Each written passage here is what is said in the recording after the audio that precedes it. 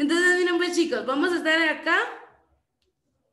Vamos a irnos a nuestro cuaderno. Recuerden siempre colocar la fecha. Y vamos a escribir eclipse.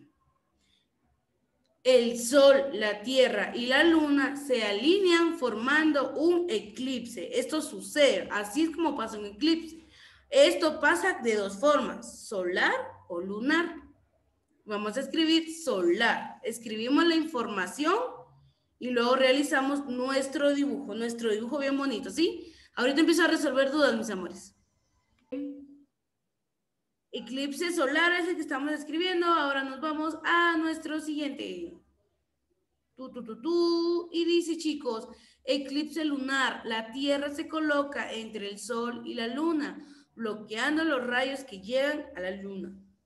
Acá está el dibujo, miren. Este es el dibujo que va a representar esta explicación. Pueden empezar, chicos.